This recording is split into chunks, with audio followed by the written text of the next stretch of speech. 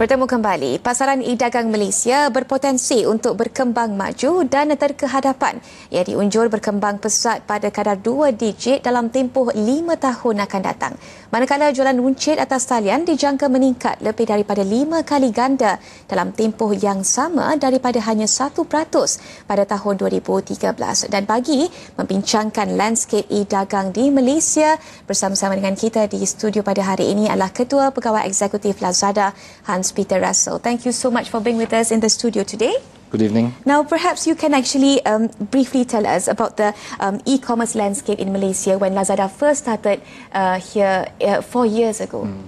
So when we first came here, there were a couple of smaller players selling restaurant vouchers online, uh, selling second-hand used products online, or maybe were focused on one or two uh, product categories. Mm. But when we came in, uh, we in initially already started selling in a broad range of product categories. And mm -hmm. back then we had some fundamental problems when it comes to trust, customer trust. Not many customers uh, trusted online shopping in mm -hmm. general. And also when it comes to the logistical infrastructure, uh, this was not 100% ready for uh, e-commerce as we know it today. Mm. How large is the e-commerce market in Malaysia and what's the growth potential here? So I think when we first came it was less than 1% uh, of the total retail market. Today, it's already more than 1%, and the, what we expect in the next couple of years is that it's growing to 3, 5, 8% mm -hmm. to levels where we are today in China or in some of the Western markets. Mm -hmm. Okay, as compared to other ASEAN countries, where does Malaysia stand?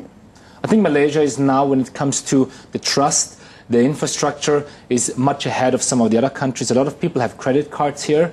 Now they also have the trust to use them. And when it comes to the logistics uh, infrastructure, you only have two islands as opposed to Philippines or Indonesia where mm -hmm. you have a mm-hmm. lot of islands, which makes it a bit easier to deliver products the next day or two days after the, uh, the, the, order was placed. Right. Four years in this, in this industry, four years uh, Lazada in Malaysia. What are the challenges that that you have overcome? And what should be, especially for all the e-commerce business in this local market, how can they, uh, the challenges that they should foresee and they should prepare themselves to? I think it's three things that, that were very challenging for us and people mm need to consider if they want to be successful in e-commerce. First, it's getting the right assortment online, having the right products, mm -hmm. having the right brands online, a mix of international and global brands, but also local brands that you need to have to attract people to your page. Mm -hmm. Once they order, you need to have very good operations. The fulfillment experience is very critical. Otherwise, people will not come back. People in Malaysia expect the delivery a day or latest two after they have placed an order. And if you're not able to do that, then the customers will not come back to you.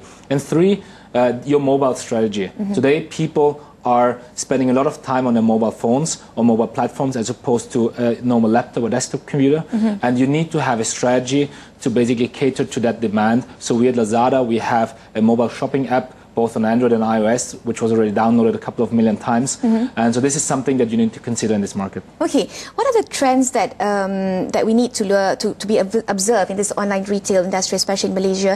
Is there any um, new method of payment that they should look into, or what are the trends actually? I think I think two trends that are very very clear is first you see a bit of a shift, a category shift, while in the last couple of years people were focusing mostly on buying electronic gadgets mm -hmm. online. Uh, while today they are moving towards what we call lifestyle categories, toys, kids and babies, diapers, fashion, health and beauty. Mm -hmm. And we also see a demographic shift. So while in the past it were mostly young kids, uh, college students that were buying online, today you see a shift to the generation 30, 35 plus, mm -hmm. families with kids, then, then also buy in these categories. We're also seeing that in this economic situation, people are more prudent and they're more careful in terms of their spending. In what way do you see Lazada can also actually increase the the buying trends among the consumers? I mean, we help people save money okay. in the end. If you don't have to go to the shopping mall, pay toll, pay parking, uh, and then still get the products uh, cheaper online, mm -hmm. this is how we help people uh, during these times uh, having uh, being able to afford certain products, certain product categories. Mm -hmm. And so we see, especially in these times, a big uptick uh, on, on, on, online shopping platforms. Mm -hmm. Okay, so I was told that Lazada will be celebrating its fourth year in Malaysia, and uh, I'm sure there has. Um, can you actually actually um, quickly tell us um, the overview of the four-year journey in Malaysia? And I'm sure uh, celebrating this fourth year in Malaysia, there's something, uh, somewhat a new uh, promotions that you guys are doing at the moment. So yeah, we are, we are very happy about our fourth year anniversary. We're okay. going to have a big campaign from the 15th to the 18th of March.